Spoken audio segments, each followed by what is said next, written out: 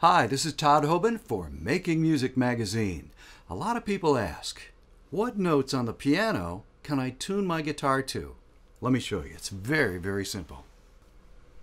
First, locate middle C. It's right beneath the two black keys at the center of the keyboard, right there.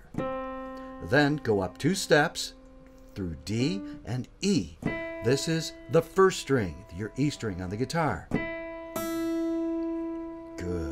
Then back down the scale through C. One half step below, right here, step below, is B. That's your second string.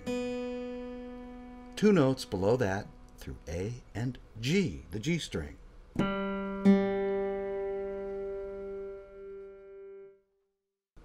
Now you go down four steps from G, right down to the D, four notes down, and there's your D string. There's your friend the C, and you're going to go down four steps to an A. Here's an A. That's your fifth string. Good. And then the low E. And if you're down four steps, looks familiar, doesn't it? There's your low E. And there you have it, all the strings of your guitar on the keyboard.